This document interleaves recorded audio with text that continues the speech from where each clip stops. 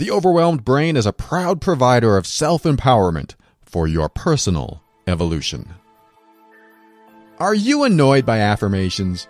Are you irritated when someone tells you to Think positively! I realize you just got devastating news, but now's the time to swallow that pain and sadness and force a smile so that the world doesn't judge you for having perfectly normal human emotions.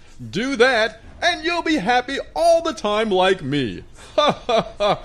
Now excuse me while I whistle so loud that everyone in this store will have no choice but to hear what I want them to hear instead of being at peace in the silence of their own thoughts. Always If affirmations feel like lies and positive thinking feels like denial, then get ready to start creating the life you've always wanted now.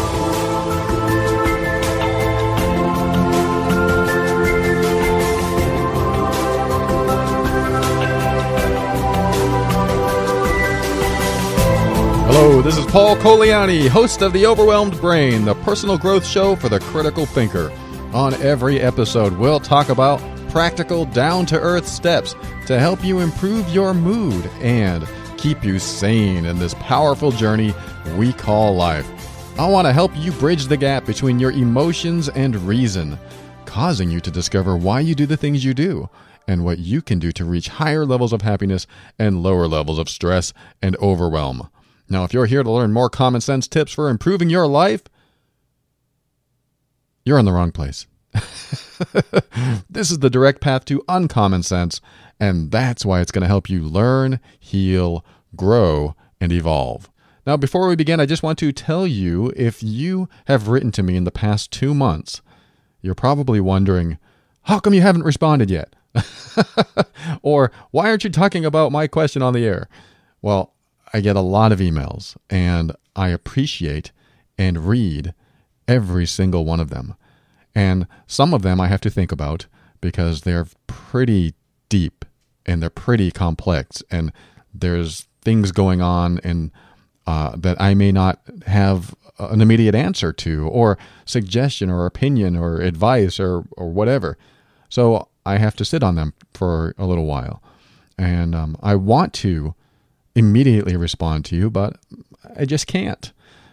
But I do respond to every single one of them in time.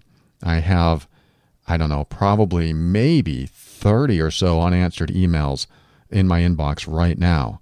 So to you, I apologize. It is not my intention to make you wait, and so you have to continue dealing with the situation that you're in, or or if you're not sure what to do next, and you're just waiting for maybe some extra piece of information that I can give you that might help you have uh, some forward progress in what you're going through. So I apologize to you. I'm sorry I can't answer right away.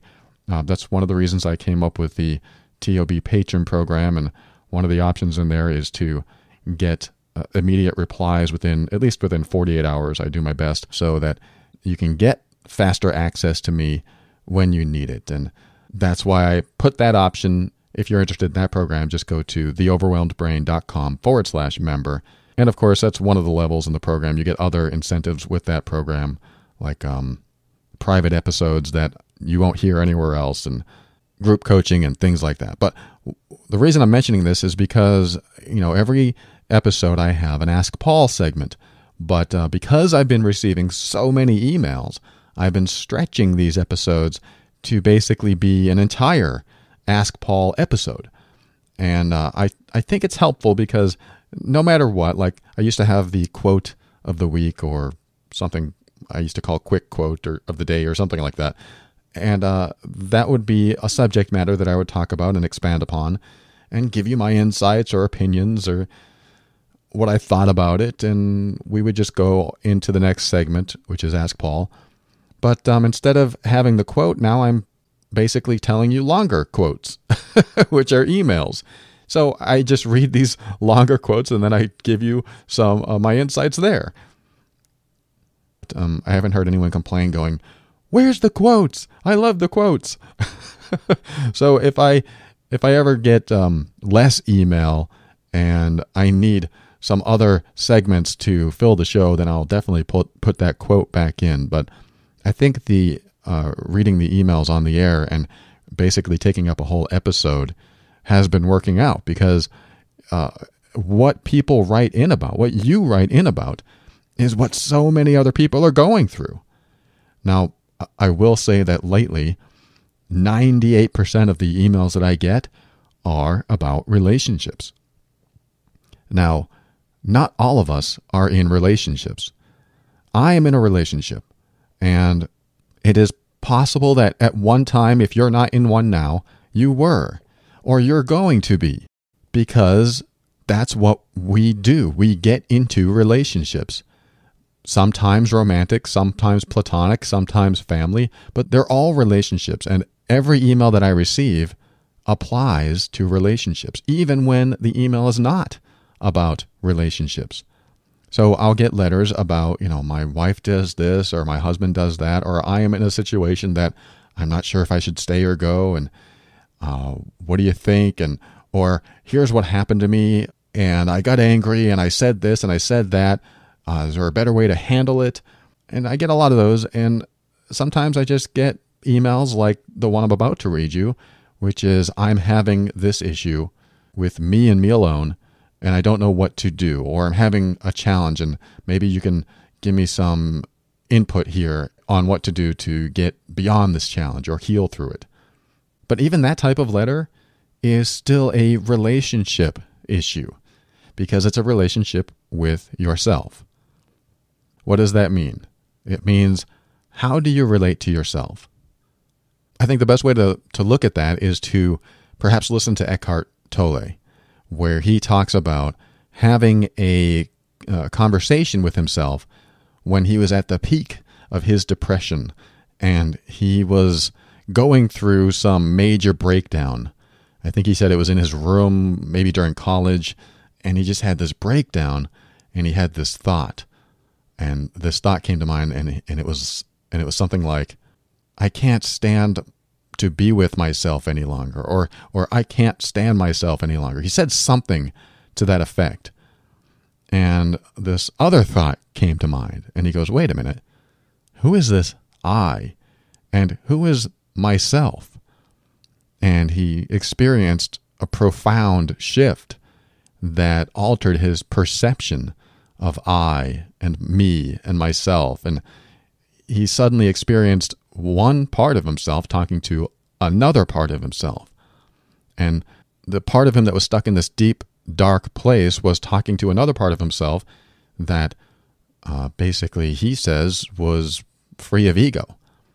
And it was that moment that he chose to be free of ego and what ego had, had done to him or how ego had uh, brought him to this dark place because he was attached to so many things.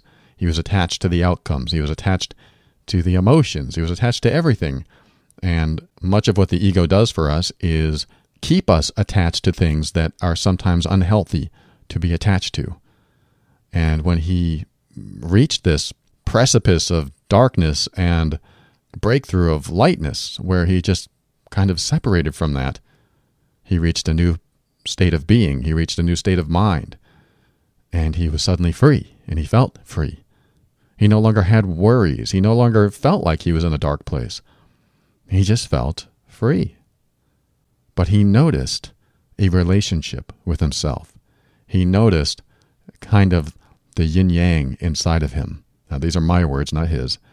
But when I remember his story and think about how it relates to some of the stuff I teach, I think about how when he reached that point where that separation took place and he let go of whatever he let go, it was sort of the self centered, high ego state of being attached to all these things, uh, relating to the part of himself that wanted to be free of all of that.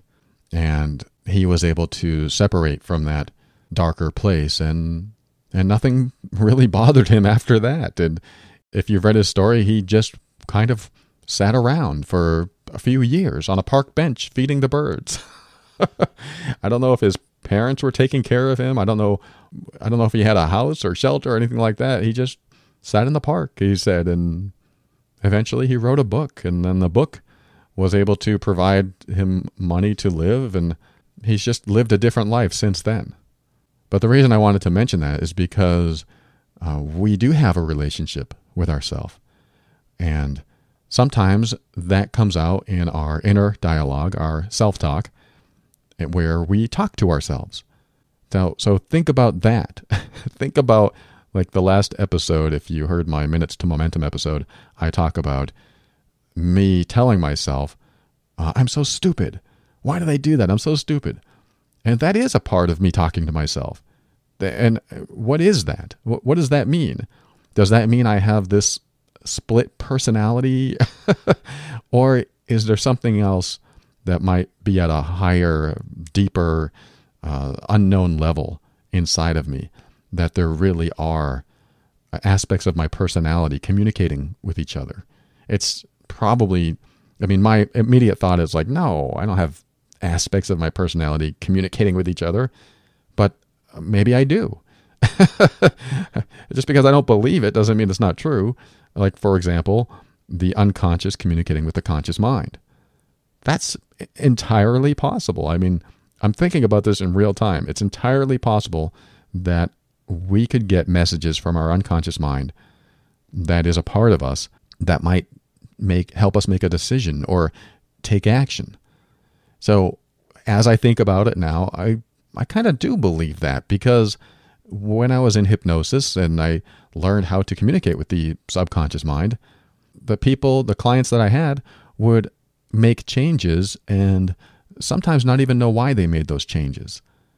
So they're conscious of their actions and their behavior, but they're making decisions and taking action, doing things with messages from their unconscious mind. Hard to explain, but I think you get it. It's like what motivates us at a deeper level. And I think that's a good way to look at a relationship with yourself is what motivates you at a deeper level is the relationship you have with yourself. It's kind of like when I talk about values. Values are what motivate us at a deeper unconscious level. And that part of ourself drives our behavior, drives our conscious behavior. So this is good to know. This is good to remember because when you talk to yourself, you can literally talk to yourself. You can literally go inside your mind and and when you when you hear this message like for example, like my last episode I said, "I'm so stupid." Okay, what if I talk to myself? Oh, oh why do you feel so stupid? Well, I feel so stupid because I did this. Well, what's wrong with doing that? And then, then you could do the drill down process that I teach. Well, what about that so bad? Well, I feel bad because I sent people to the, the wrong website. Okay, so they, you sent them to the wrong website. How is that so bad? Well, they might get upset, and I feel bad because I made that mistake, and so on and so forth. I can go through the questioning process uh, of uh, drilling down into why things are so bad, how they're bad, thinking about how much worse it could be, and get to a point where whatever it is that makes me say, God, I'm so stupid, uh, is eventually revealed. And this is good to do with yourself. It's good to have these conversations in your mind. It's not crazy. It's actual. it's real. It's when you go inside your mind and have a conversation.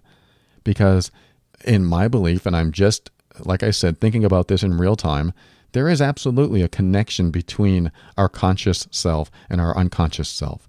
They have to communicate because otherwise we would not be able to take the actions that we take, and especially not be able to have things uh, committed to memory so that when we, for example, get on a bicycle and know how to balance and know what to do, know how to steer, know how to pedal, when all those things take place simultaneously, we're not consciously thinking about doing those things, they just happen.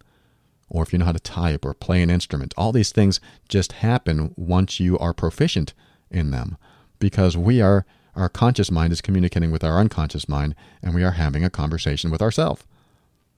So, what does all this have to do with anything? Well, I believe that once you have a good relationship with yourself, your life just improves. Your relationships outside yourself improve. Everything around you improves because now you are communicating with the part of yourself that sometimes you don't want to. And what I mean by that is sometimes we don't want to communicate with the part of ourselves that hurts. We don't want to communicate with the part of ourselves that feels the pain or remembers the bad stuff that happened in our life.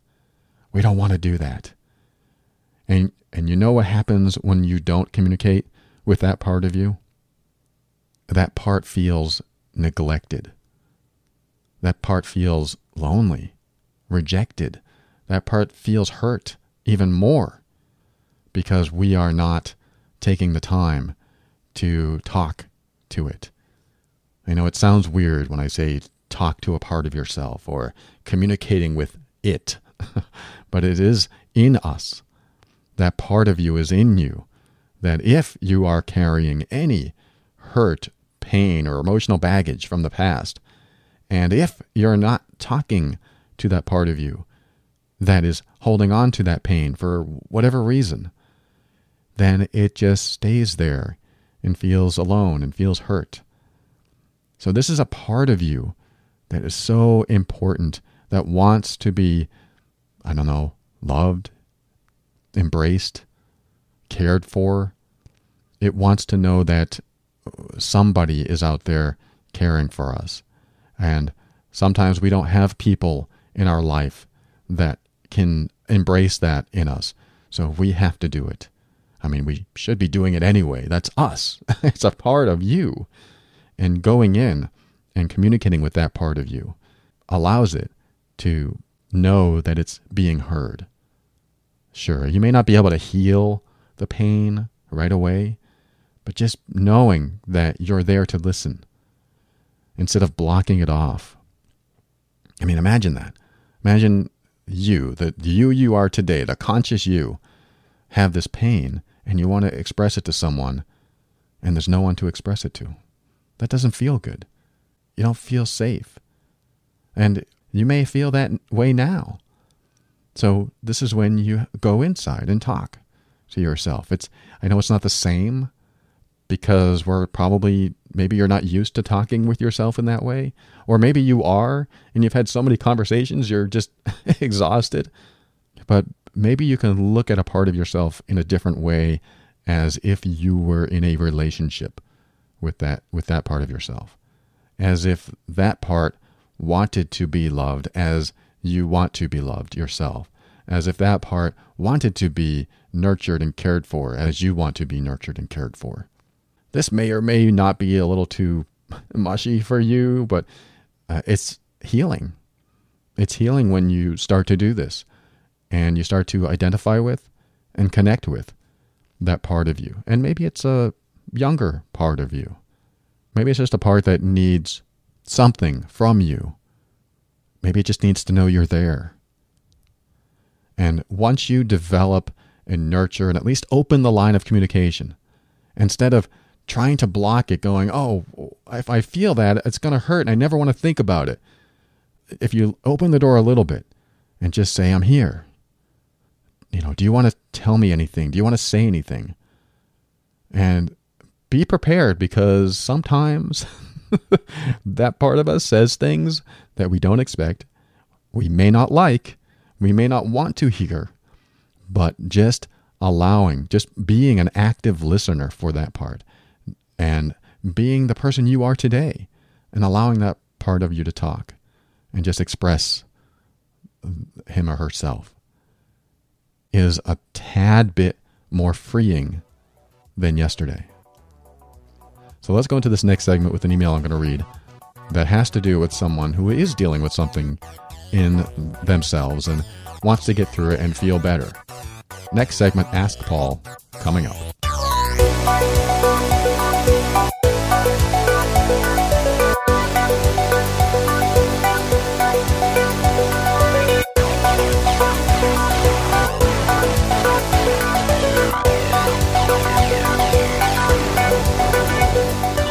All right, once a week I tell you about getoutofthemess.com and we usually have Asha on to tell us a story or two about how to use the service, how she's used the service, and um, we just haven't been able to coordinate schedules lately, so I haven't had her on the show. I terribly miss her.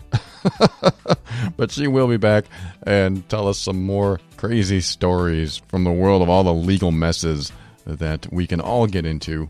But I want to just quickly mention that uh, Legal Shield, which is basically an on call legal service. Whenever you need legal advice or have any legal questions at all, you can contact them and they will talk with you for a low monthly payment.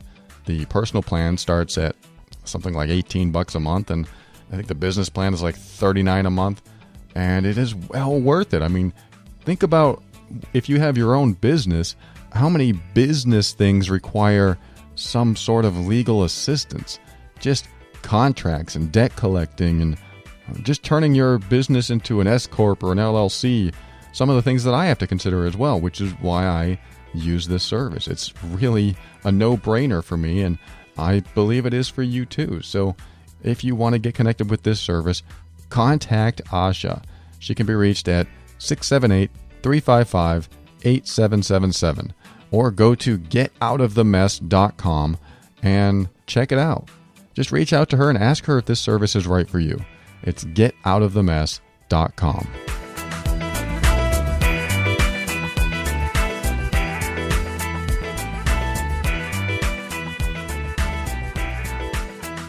All right, this next segment is called Ask Paul. This is where I read a listener email on the air and do my best to answer their questions and help them through the challenge.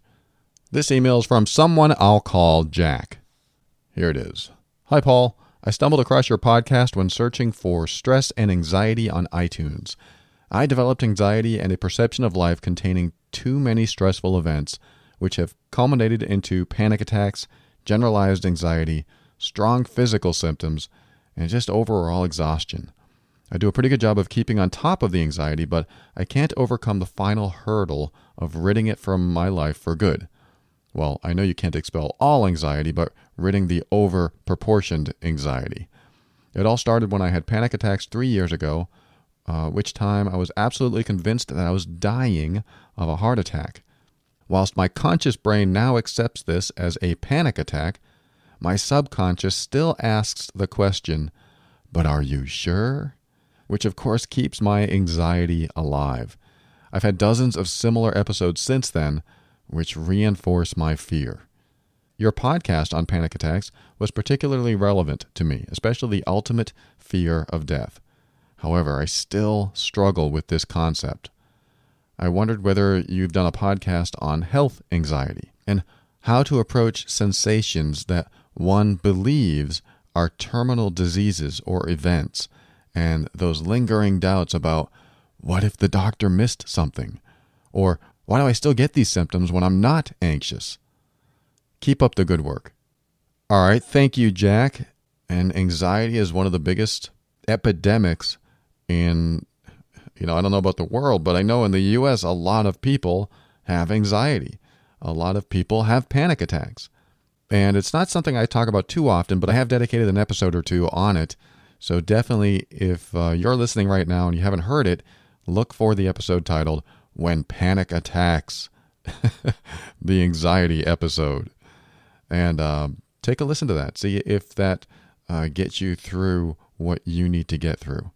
And also, and I think I just talked about this recently because I recall it quite clearly that I just mentioned Charlie Hoehn's book, which is Play It Away. Uh, I had him on the show like a year and a half ago, I think and he talked about how he had pretty much the same symptoms you had.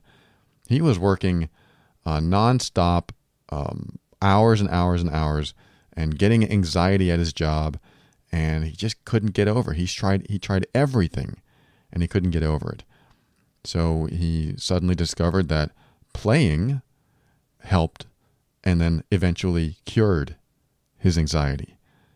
So I'm not going to sit here and tell you that there is a cure for anxiety. That's not my place. Nor do I know every single aspect and facet of anxiety as a whole, like health anxiety or generalized anxiety. But I do know that I've experienced it and uh, up to the point where I've had panic attacks and I've learned how to get beyond it. I've learned my way of getting through it. And my way is somewhat unorthodox, but it does work for many, many people. And it may work for you too. However, you listened to that episode on anxiety. so maybe it didn't work, or maybe you didn't understand something that I said. Like you did say, I still can't. What did you say? You said, I still struggle with this concept eh, regarding the ultimate fear of death. And uh, let me just explain what that means. When you are having an anxiety moment, or when you are feeling anxiety, it is a fear of something that might happen. It may or may not happen, but we develop a story in our brains, and this story becomes a reality that we choose to be afraid of. So, this reality that we create in our mind really is just a story, but we believe it will come true. And we're worried that if it comes true, what are we going to do? What, what's going to happen? What's going to happen to us? We have all these fears that come up if it's true. It's sort of like looking at your bank account, getting lower and lower and closer to zero, and wondering, oh my God, if it gets to zero, what am I going to do? What am I going to do if I have no money? I mean, I, I can't buy food. I can't pay my rent. I, I can't pay my bills or whatever's going through your mind. It's, you start getting anxious. What am I going to do if this happens? Now, I can speak from experience because that's exactly what happened to my wife and I when I was married. Uh, we watched our bank accounts fizzle down to nothing. And then what? and yes, um, money has been a huge anxiety for me uh, for a lot of my life, but only when I was close to not having any. When I had it and when I was working and I had a full time position, it was okay. I never felt anxious because I knew the next paycheck was coming. It was a lot easier to be comfortable about money when you know a paycheck's coming. But when you lose your job and you're behind on your rent and your bills and you can't find other work and you see your bank account dwindling down to nothing, thoughts come to mind. Thoughts of what am I going to do? Where am I going to live? How am I going to eat? How am I going to support myself? How am I going to support my family?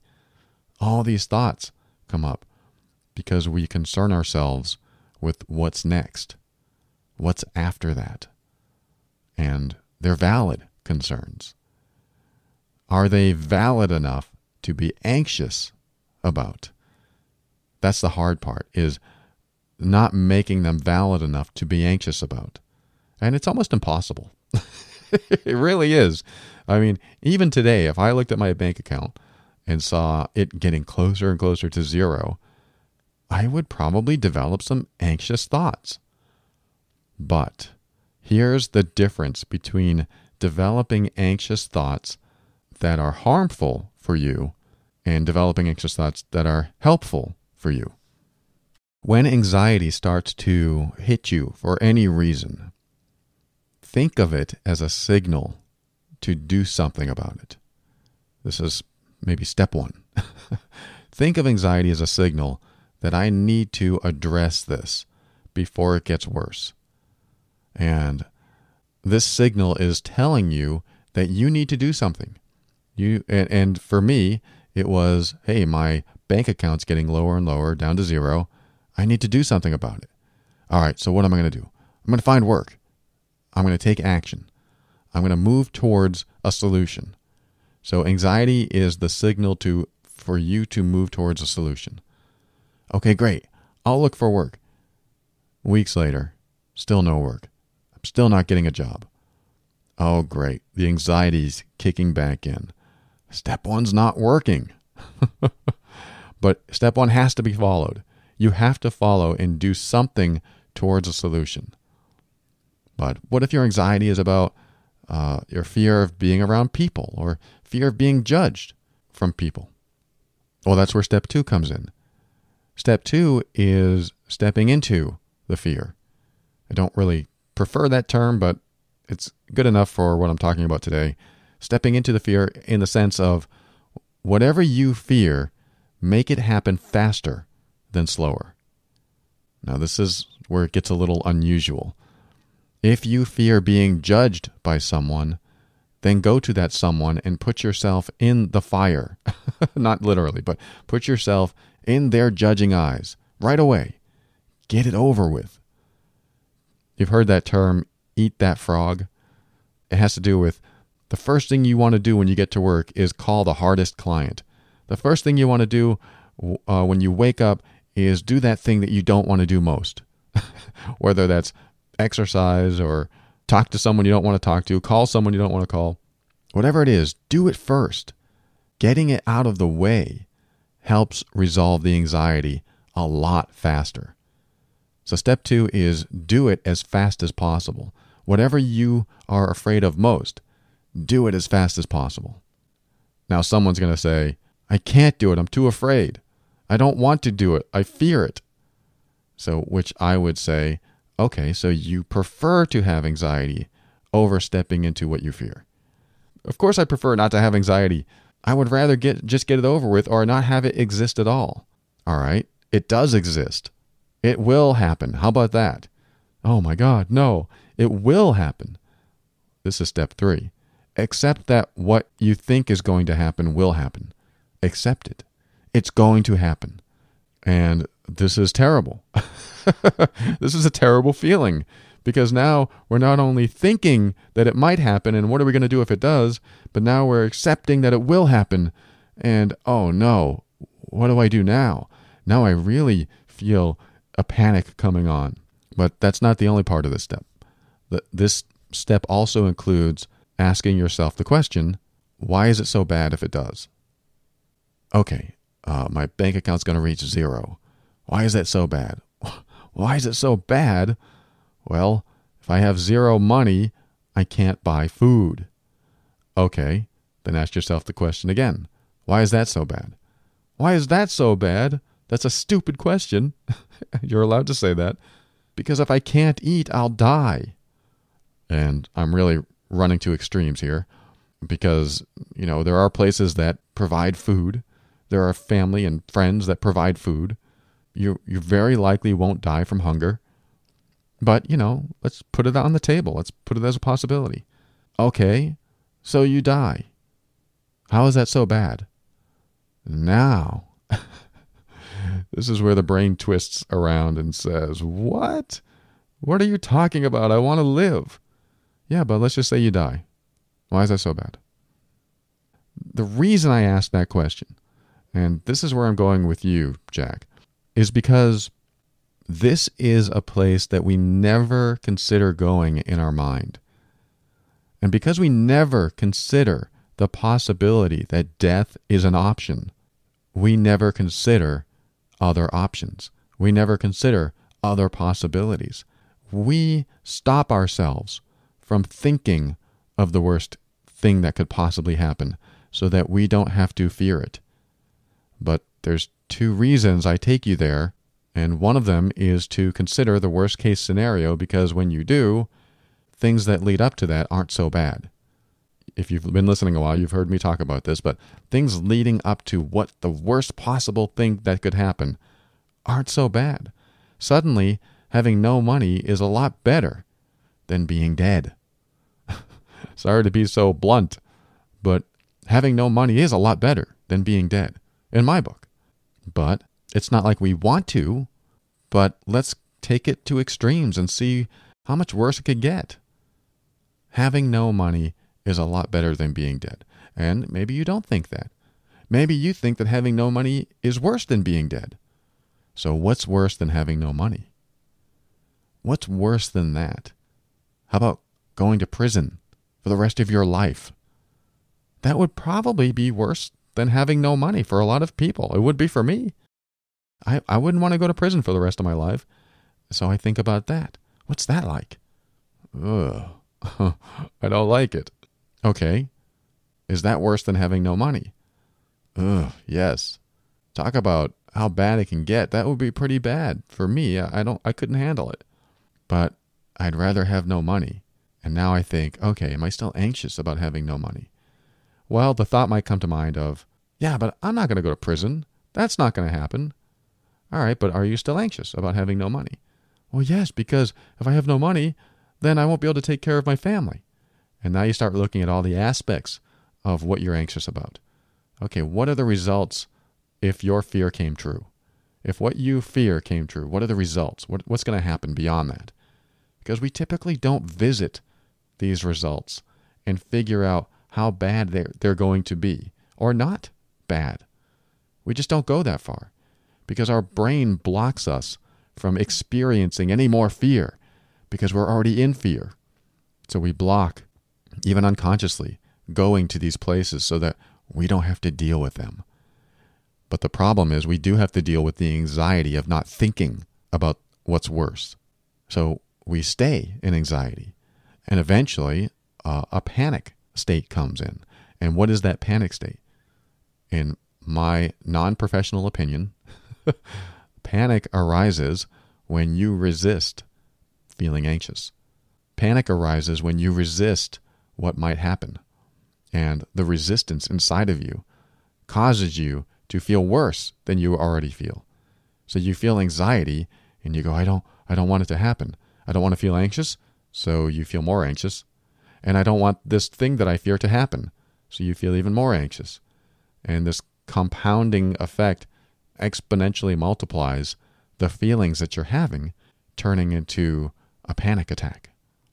Again, this is my non professional opinion. I'm not a medical doctor, and everything I say you should not listen to and go to a medical professional immediately if you have any symptoms at all that you think you might need a doctor for. I just look at the mental state and what it leads to. And where we are in our mind leads to how we feel. Where you are with anxiety leads to panic, leads to sweating, leads to heart palpitations, leads to all kinds of stuff that you probably don't want. But why does it come? Because we try to avoid what we fear. And avoiding is resistance. It's you can feel resistance. You can feel it when you're like, I don't want that to happen. I don't want whatever I fear to come true. So this builds panic and uh, causes us to feel what we feel. Now, the second reason I take you to the worst case scenario is because when you can come to an acceptance of the very worst thing that could possibly happen, then it blows out everything up to that point. It's very similar to what I just said. Is like once you see how bad it can get, and you don't want that to happen, everything else doesn't seem so bad. But the second reason is if you can actually accept that the worst thing could possibly happen and put that as an option on the table, suddenly everything that leads up to it is no longer something to fear. It's more of a I'd rather have those things happen than this other thing happen because the chain of events that lead up to what could be a lot worse, it just dissipates. It it disappears. It no longer has control over you because you went down the spiral and figured out what it was like to experience how bad it could possibly get. Is this easy? No. um, but it, it is possible and this is why I take you there is to get to a point where, hey, you know what? I could end up in prison and get beat up or killed. Boy, that would be pretty bad, but let's just say that's an option. All right, let's just say that's an option. You may not accept it as an option, but I tell you what, it's going to feel a lot better when you're in a crowd of people going, wow, I'd rather be in this crowd of people than that prison. It's a comparison game, really. We're comparing what else could be bad to what's happening in the moment. Now, this isn't like all purpose, this works 100% of the time advice. It's just a philosophy where you start to go, well, how much worse can this get? Like, I remember when I was working in IT, I was working in the hospital, and I got this phone call. And they left a voicemail, and it was, I think, one of my managers. And he said, you know, come down and see me when you get a chance. And uh, I listened to this, and my first thought was, oh my God, what does he want? I, got anxious and I started feeling this anxiety, thinking, oh, what's happening? I don't know why I'm feeling this way. It's just, um, he's just telling me to come down and see him when I get a chance. And of course, I can equate that to being in school, like report to the principal's office. And then that feeling comes over me, and I go, oh no, I'm in trouble. I mean, it could have been anything. It could have been, hey, we want to give you a raise, or hey, we want to give you two weeks off, which I knew it wouldn't be. but um, I didn't know what it was going to be about, so uh, I had this anxiety come over me. So I had to take a break and go, what is this anxiety about? Why am I anxious? I'm a grown man. I shouldn't be anxious about this. So I went into um, a room by myself and I thought about, okay, what, first of all, what could it be? And my first thought was, well, he could have found something I did wrong. And okay, that makes me anxious. Okay, well, if if he found something that you did wrong, how is that bad? Well, he could be upset with me. Okay, if he's upset with you, how is that bad? Well, maybe he won't like my performance. Maybe it'll go against my evaluation. Maybe he'll even fire me. All right, he fires you. How is that bad? Well, if he fires me, I have no money. Okay, how is that bad? And you know, so on and so forth. You heard me go through the process. But what you're doing is drilling down till you get to uh, the place that your anxiety stems from. Because this is what Jack was talking about in his letter. He's like, I, am struggling with the concept uh, of the ultimate fear of death. Because, in, in my opinion, a lot of our fears are an ultimate fear of death.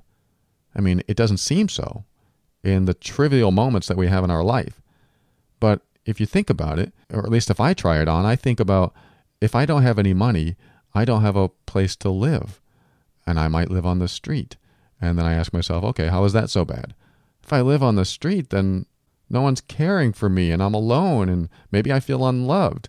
Okay, how is that bad? Well, if I feel unloved, then I feel like no one will take care of me. And I'm starting to say the same answers. And well, how is that bad? Well, if no one takes care of me, I might die. Okay, how is that bad? And then that's where the brain starts to twist and figure out why I fear death in the first place. Why do I fear death? Why do you fear death? What's so bad about it? If you're a very religious person, maybe you fear death for religious reasons. But I think about dying and I go, wow, I don't know. I guess I guess there's nothing to fear because my belief is that you just wink out and you're gone. and you might believe there's reincarnation. You might believe you go to heaven. You might believe you go to hell. And if that's the case, I'm taking you back to step what, number two, where you take action so that doesn't happen. You take action so that the worst case scenario doesn't happen and you start to do things a different way. Or if that's not your belief, or you believe something else after you die, what is so bad about that if it happens. I'm not promoting or endorsing death here as an option, but I'm saying is that what we ultimately fear is something at a much deeper level. It, maybe it's not death for you. Maybe it's, you know, fear of being in pain or fear of something else that is very, very deep and very, very powerful. But this is usually where anxiety comes from. It's a deeper level set of beliefs that we fear might happen and we're not sure what we're going to do if it does happen. And let me tell you something else that gets rid of anxiety. If you're if you still can't get beyond this just using your thoughts alone, like you're in a situation and you get anxious and you're looking on, around the room and you're thinking, I'm anxious, I'm anxious, what do I do? And well, Paul said to go up to that person and purposely choose to be judged. How about that? If you have a fear of getting judged, just get it over with. Okay, that's what I'll do. It's a huge, bold step for me, and I'm scared as hell, but I'm going to do it. And I'm going to walk up to that person, and and this is probably step four of what I teach a lot is just tell them, look, I'm anxious. I feel like I'm. I feel like people are watching me. Like they think I'm ugly, or they they're laughing at my clothes. You know, you would you don't say exactly that thing, but you find someone to talk to, and you just express what's happening in the moment. I'm feeling anxious. And when you do that, it immediately releases some of the anxious energy because what you're holding in is your fear of people seeing you anxious too. so if you go up to someone and say, I'm anxious, and then they'll, they can ask, why? What, what's wrong? Well, I'm anxious because of this. And then they'll say, what? That's nothing to be anxious about. Or not. But no matter what, it still comes out of you. It's that pressure release valve. It comes out and it feels better. I'm not saying the anxiety goes away, but it feels better. Oh, good. Now I feel better. Now I can talk about it more freely and I can feel better about it. This is expressing what you feel in the moment. And this is what I've talked about before when uh, I had to introduce myself to a bunch of people and I used to feel nervous. Uh, just expressing how nervous I felt doing it in front of those people, it released all the stress. It released the anxiety and nervousness around that. And it also spread all over the room because it broke some of the tension in the room from uh, other people that might have felt that way too. So it has an infectious effect when you do things for yourself. It allows other people to feel comfortable around you too. Because almost 80% of the time, if you're in a room full of people, there are others who are feeling the exact same way. And it gets sort of comfortable to know that you're not the only one who feels this way. Because it's true. You are not the only one who feels this way. So, really, the, the entire idea behind uh, getting over or getting past anxiety, or at least at a level where it's not so uh, debilitating that you need to take medication. Uh, for the most part, I'm talking about general anxiety uh, or even panic attacks. In my life, the, the fastest way to get beyond a panic attack is to make whatever I fear happen as soon as possible so that I'm no longer fearing something ahead of me. I'm in it. And once you're in it, there's a whole new set of things that happen. But you're no longer anxious, but now you have to deal with it. And that's a much better place to be, believe it or not. It's much better to, to be in the space of having to deal with it in the moment. If, if your car gets a flat tire, oh, the anxiety that kicks in. Oh, I'm in the middle of nowhere or I'm 20 miles from home. Oh, now I, I'm not even sure if I have a spare. So then you check and you don't have a spare. Now you're in the middle of it, but now you're thinking, how am I going to get home? So you start walking. And now you're not thinking about how you're going to get home, you're just walking. I know there's more to it, it's more complex, and there are so many other situations that uh, we deal with anxiety that I'm not addressing here. It is complex because we think about a future that may or may not happen, but we try on all the scenarios if it did happen. And if it does happen, well, what, what am I going to do then? And I could get hurt, or I might get yelled at, or I might get fired. All these scenarios that we just make up. And all we have to do is imagine okay, I can be okay with getting fired. I can be okay with being homeless. I can be okay if this kills me. This is extreme thinking, I know. But imagine if you could walk through the fire like a warrior and not feel the effects of all the stuff that we make up in our mind. That's really what it comes down to. As soon as you stop having fear of some of the, the worst stuff in life, then the little stuff doesn't really affect you as much. It happens, you know, things are going to happen in our life that are unexpected, and we might get anxious about it, but use it as a signal to take action. And for Jack, the person who wrote the letter, the ultimate fear of death that you're struggling with, you don't have to welcome it. You don't have to not fear it. It's just a matter of being okay if that is your destiny. and I hate to say it that way because it's just so out there, but think about what you feel if you're dead. And this is, like I said, this is very un- unorthodox. And I'm not saying that that's the answer. I'm saying that when we're anxious, it's usually because we fear something at a deep, deep level. And it might have to do with death sometimes because we just want to exist and live and thrive and be in that survival state. Think about what it would be like if you didn't fear that. What would that be like? Try that on. What would it be like if I didn't fear death? Well, okay. That's pretty good. That's a pretty good feeling because now I'm taking bigger steps into bolder things and taking more action on things that maybe I used to fear before. And I think one thing you have to do when you are feeling any type of anxiety at all is to keep checking in going, why am I anxious? What's causing this anxiety? Okay, what would happen if what I believe to be true comes true? Oh no. Okay, how is that so bad? Oh, it's terrible. It's terrible. Okay, let's just say it's terrible. What's the result of that? What's going to happen the next day? And what's it going to be like a year from now?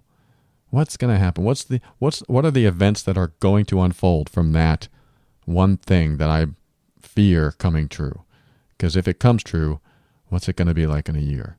I mean, when you think about it a year later, it doesn't seem so bad. So I hope this helps, Jack. Uh, I don't know if it's going to help you get over an ultimate fear of death, and you know, a lot of us, a lot of us have a fear of death, and sometimes that's what drives us. And I choose not to be driven by fear. I choose not to be driven by what if scenarios. I choose to be driven by the actions I take in the moment and the plans I have for my future.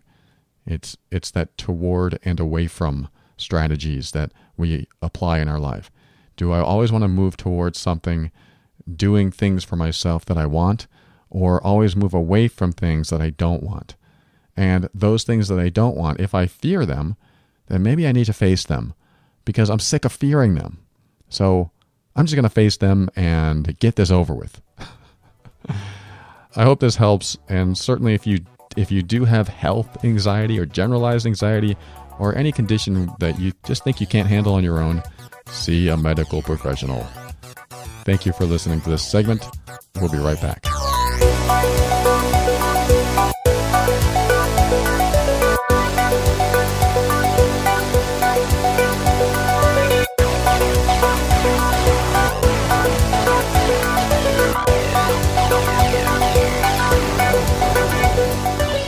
Right, I want to talk about the TOB Patron Program. This is a program that I created to help you get more TOB. Like you can't get enough. but what this is about is um, a members only uh, area that you can get uh, private episodes where I just come on the air and start start talking about anything that's on my mind or specific topics that um, the group wants to talk about that you will not hear anywhere else you will not hear on this show. It's just a place that we can get together and I can share more of this program with you. So if you want those private episodes, they're available for $3 a month. That's it. $3 a month. And then there are other membership levels available if you want to go up from there. Like the next level will give you uh, first in line to get your questions answered on the show. So if you have a topic that you've been wanting to hear and you sent me an email and I didn't talk about it yet, you'll be first in line. So that's a little benefit there. And you also receive the worksheets as they're released. And uh, if you go up another level, you get a private email address for me that no one else has. and this will give you a priority turnaround too. So if you wrote to me a couple months ago and you wanted a faster response, this is how you can do it. And then finally, at the uh, highest level, we also have live group coaching and personal hangouts and just a place where we can congregate and talk and you can ask your questions or we can just have some fun. And I'm going to have some guest coaches on as well. And we'll talk about all kinds of things. If you're interested in this, go to theoverwhelmedbrain.com forward slash member. And if you remember, last week I sent you there and the link was dead. And I felt pretty bad about it. And I came up with a mini episode that talked about it. And I hope you heard that episode because I do apologize for that. The link and the site and the page is up and running now. So definitely check it out. Go to theoverwhelmedbrain.com forward slash member. It's only $3 a month to get the extra content and um, not only will you be getting those benefits and more, but uh, you'll be helping the show out too. So, this is a way to keep us going and keep giving you more and more of this, hopefully getting better all the time, or, or at least hitting on the topics that you want to hear about, helping you achieve a new level of personal evolution. So, come on over and join me over there. I hope to see you. We'll talk to you soon.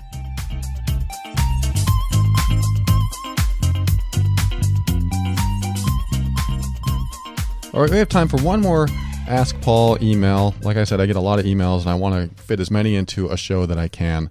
And this one is a, a lengthy email, so I'm going to just really, really condense it. And um, I have a pretty quick answer for it. And uh, but I just want to read it to you because it's very important.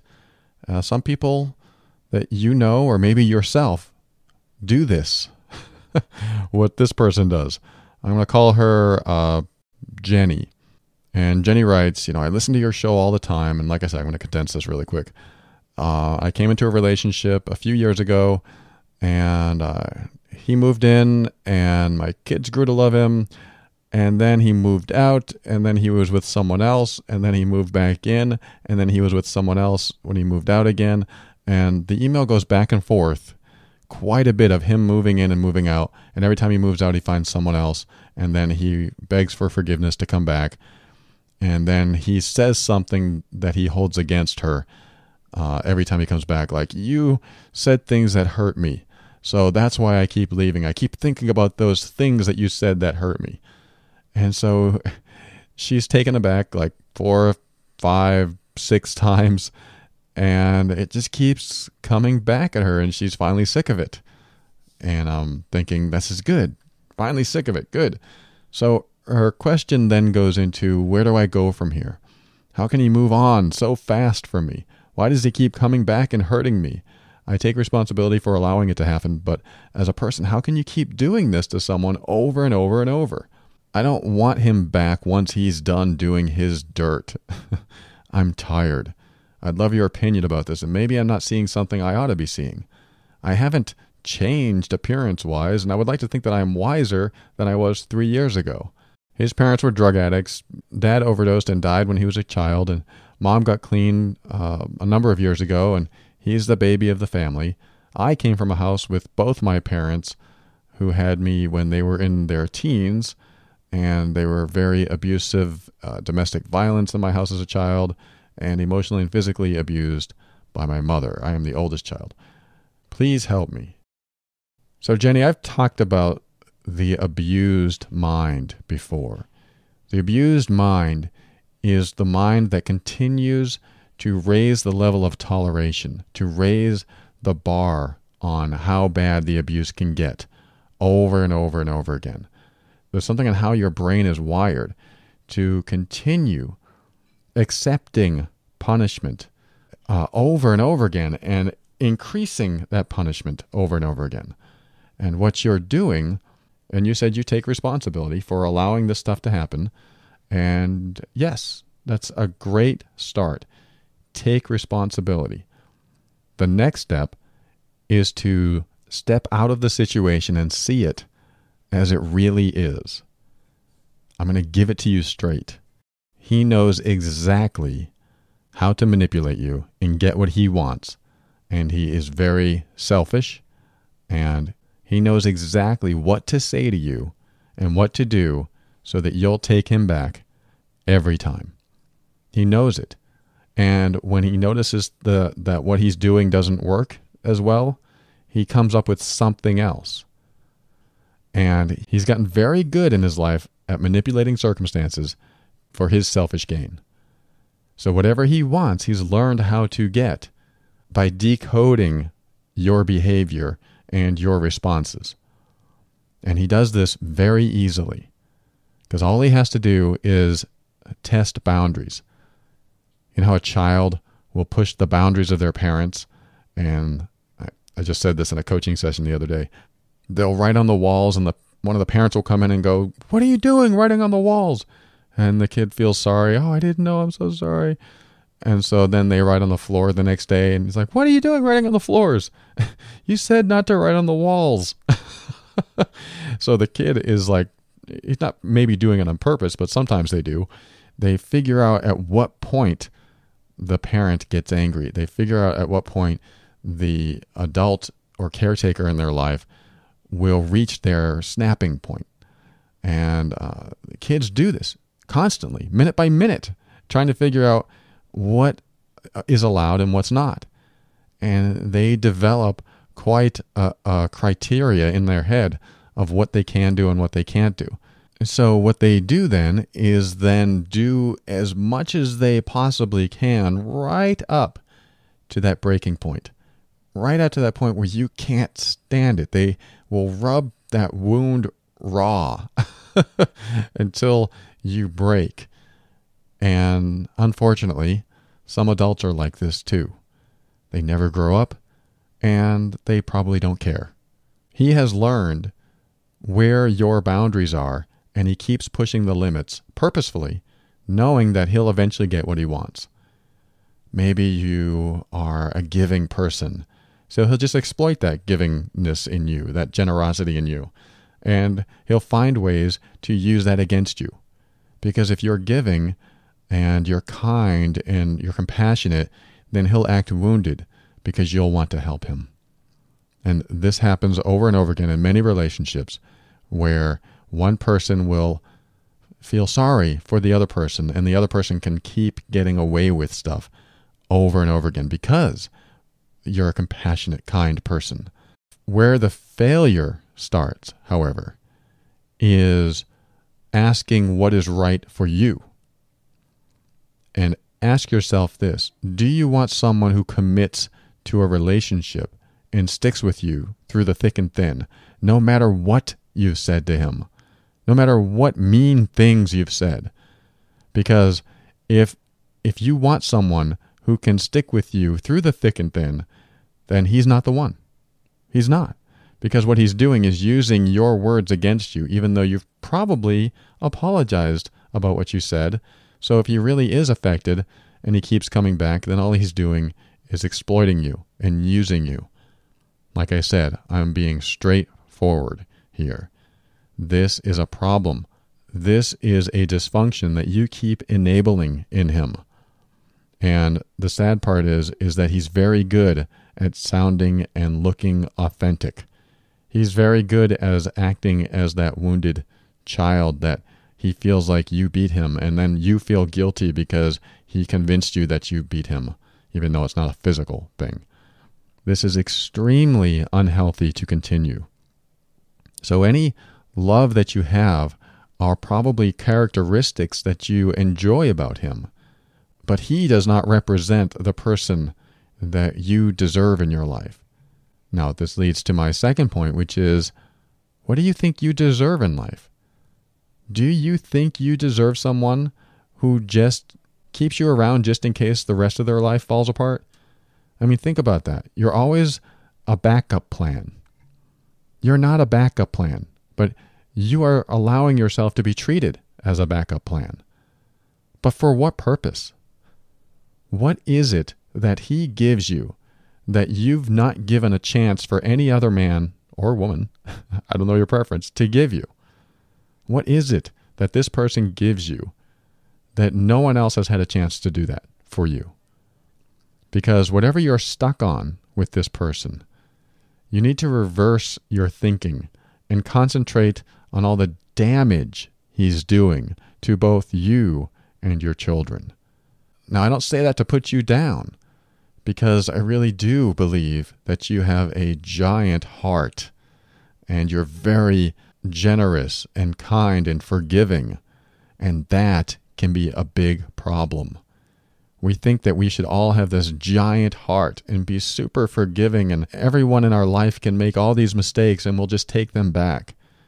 And I have to warn you against that. And I also have to warn you about how you are being compassionate towards other people and not yourself. Because if you were your own best friend, you would look at yourself first and go, okay, are my needs getting met here? Am I doing what's right for me first? This is where compassion starts. This is where you need to start in your relationship with yourself. I need to be compassionate with myself first. What does that mean? That means you do not let volatile people into your life. And I don't mean physically abusive, I mean he is emotionally abusing you. He is. I hate to say it. You are being abused by this person, and you are allowing it to happen repeatedly. Not anymore because you said you're sick of it, and I hope you're right. I'm never usually this straightforward with anyone, but this email concerns me to the point where I need to tell you it's time to let him go because you are worth more than that. You are definitely worthy of being treated with respect because there is someone out there who would love your generosity and reciprocate in kind and treat you like the queen that you are. And the only way to attract that type of person is to start healing yourself. How do you heal yourself? You start honoring yourself. You start being compassionate toward yourself. Stop exposing yourself to toxic people. Those aren't the kind of people you want in your life. And those are the kind of people that will keep you from progressing in life, that will keep you from being healthy in your relationships. Healthier relationships are easier to attract when you are healthy inside. And only a healthy person is going to let other healthy people in. If you are not so healthy, if you are more dysfunctional than not, because we all have some level of dysfunction, if you're more dysfunctional than not, then you're going to attract the people in your life that are at the same, if not worse, level of dysfunction than you are. And everything's going to seem great for the first few months until the dysfunctional needs are met. And now you want to settle into life a little bit more with the person, and you realize there's not much more than complementing each other's dysfunction. So, what I want you to do is be single for a while and figure out what you need in a relationship versus what you want in a relationship. And also write a list of the things that you absolutely will not stand for in your next relationship. In fact, that's a good practice. Write what you absolutely want and write what you absolutely don't want in your next relationship. Then, when your next relationship happens, you can evaluate what's going on in that relationship with the list.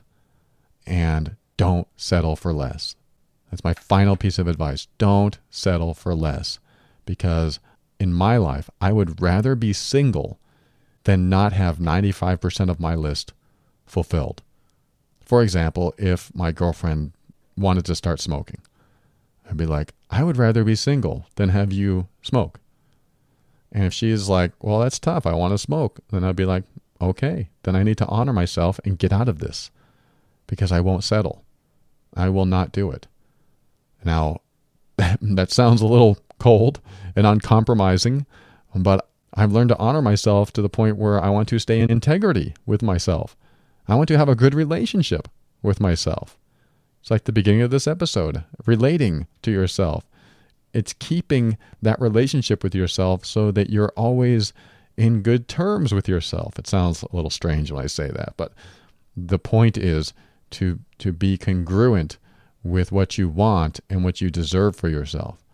And how do we get what we don't deserve? We think we're less worthy than we are. And I'm here to tell you that you are more worthy than you think you are, and that you deserve absolutely more than what He is capable of giving you. He is incapable of doing that for you. So let Him go. Let Him go. Let Him learn His own lessons so that He can heal and grow if that's His path, so that you can start your healing process too. Because once you cut that energetic tether and you're disconnected from Him, you can start the healing process and get to a better point in yourself. So I hope this helps you understand where I'm at with this and where I want you to be. It is so vital for your health and happiness to not be around toxic people like this and not let people exploit your kindness. You're a kind person and you're also overly compassionate to other people without giving yourself enough compassion for yourself. And when you do that, when you are more compassionate to others than yourself, then from where are you really giving? You're not really giving from a compassionate place. And after you show kindness and compassion, you're also left with a deficit of less for yourself. And that's a dangerous place to be. So I really hope this helps, Jenny. Thank you so much for writing. I want you to have a much better life than you've been having because you deserve it and your kids deserve it. And there's a lot to learn from this relationship and what you can bring forward into your life as experience and especially wisdom. Thank you again for writing. And thanks for listening to this show. I appreciate you tuning in, and I look forward to connecting with you once again next time. Talk to you soon.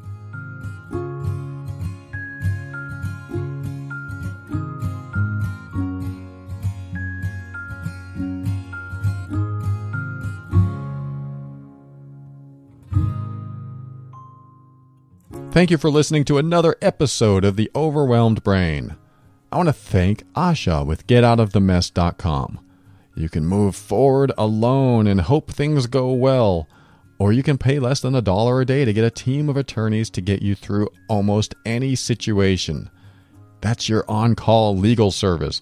If you're in the US or Canada, visit getoutofthemess.com or call 678 355 8777 and talk with Asha today. I want to thank those who are using the Amazon link or who purchased one of my books or worksheets. If you're into deeper learning, those books or worksheets are a really good way to go. And if you're using the Amazon link, wow, I appreciate you. Thank you so much. That is helping, and your contributions and shopping habits are making a difference. Thank you again. I want to quickly remind you of the TOB Patron Program. It's only $3 a month and you get more, more of this, more episodes. And not not like these episodes that you hear now with all the music transitions.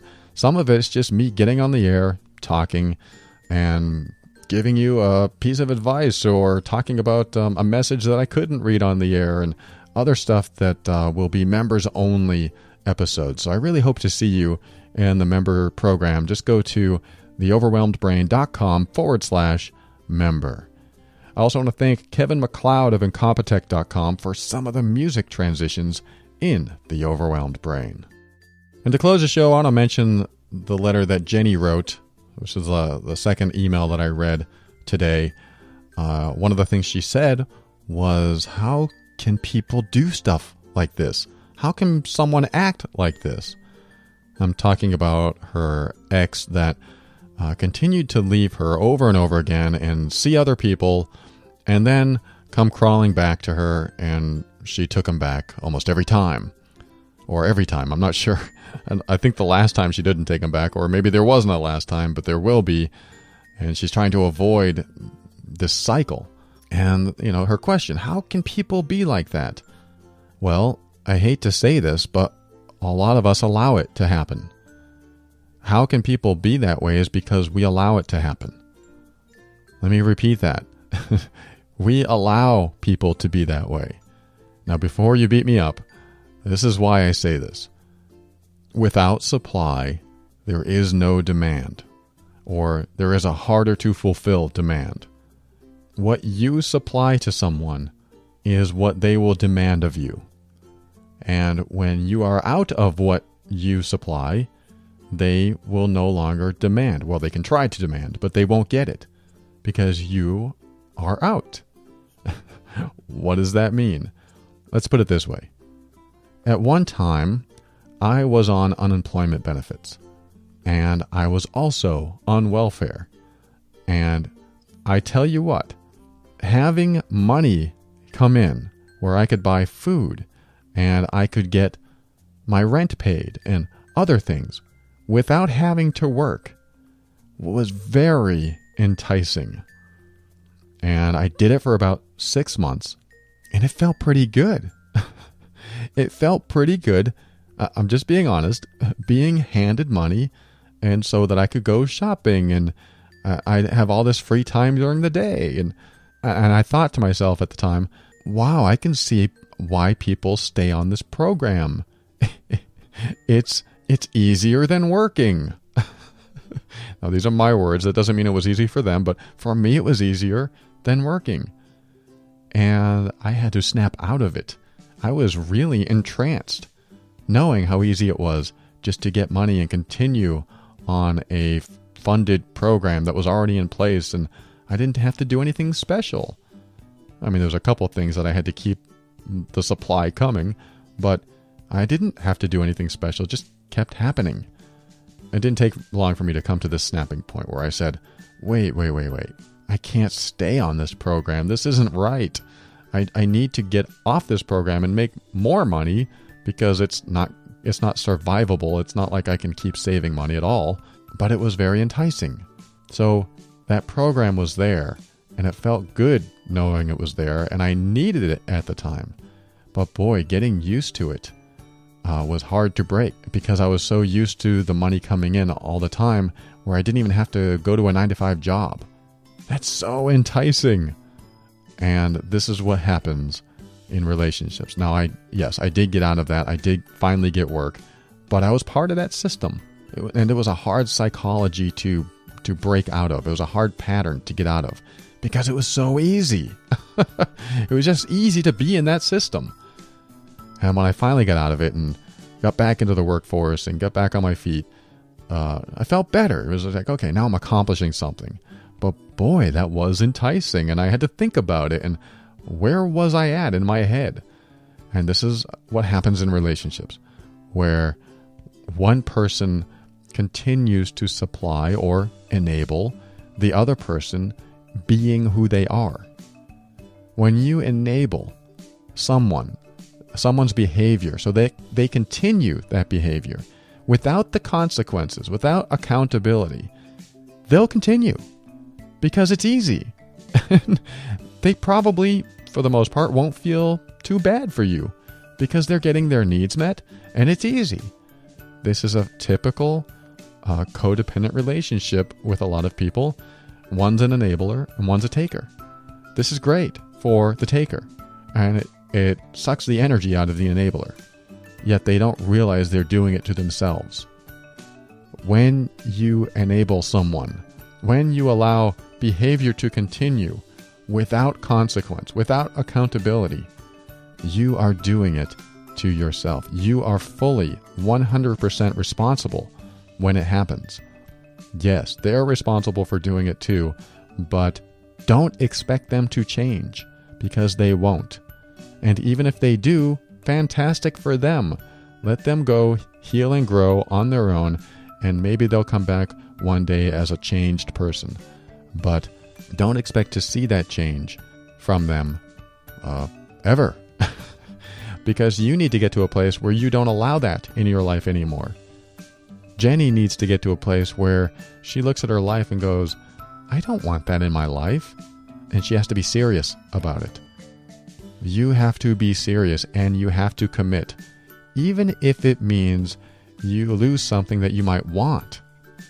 Jenny might like a lot of the qualities and characteristics of this person, yet he is toxic as hell. I hate to be so bold here, but he is. He's toxic because he's taking advantage of her over and over again. Now, I don't know the whole story, but from the letter, this is what I interpret, and this is how I see what's happening. And I've seen this over and over again. And typically, I hate to say, men will do this more than women.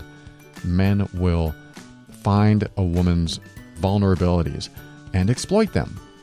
So if you're that type of person that takes advantage of someone else, then I'm sending a message to that someone else right now if you're listening and you're so overly compassionate and you're so kind and you're so forgiving, it's time to be more aware that you're being taken advantage of when this kind of thing is happening, especially if it's repeated.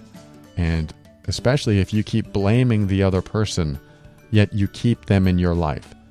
That's a huge warning sign. You blame them for what they're doing, but you keep them in your life huge, huge red flag on you to say, wait, what am I doing to continue to allow this to continue happening?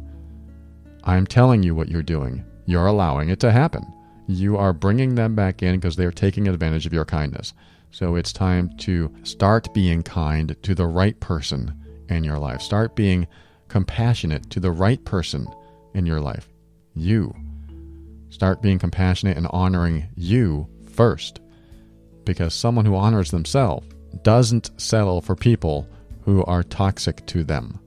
So I just want this to be clear with you that if someone in your life makes you feel bad more often than good, then they are probably toxic.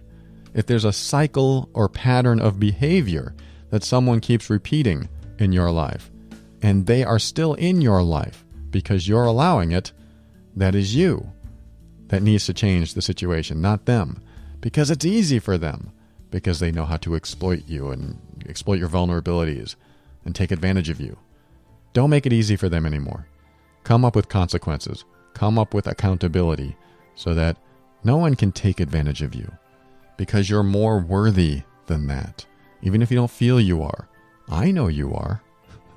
I know you are. And I don't want you around toxic people. So, whatever you have to do, first things first, honor yourself. And if you are with toxic people that you just can't seem to get away from, then start planning a way to get away from them. Just start planning it. Toxic people bring you down, they will wear you down, they will make you ill, and you will feel the effects of it. Uh, day after day, week after week, year after year, it will get worse and worse. It never gets better. Hopefully, you're not with toxic people. Hopefully, you're secure in yourself and you know what you want for yourself. And you're only allowing people in your life that lift you, make you feel more positive about yourself, and just want you to be happy. Best kind of person to have in your life. I want you to be happy. And with that, open your mind and step into your power and be firm in your decisions and actions so that you can create the life you want. Always take steps to grow and evolve. You are powerful beyond measure. And above all, and this is something I absolutely know to be true about you, which is why I just said everything I did. you are amazing.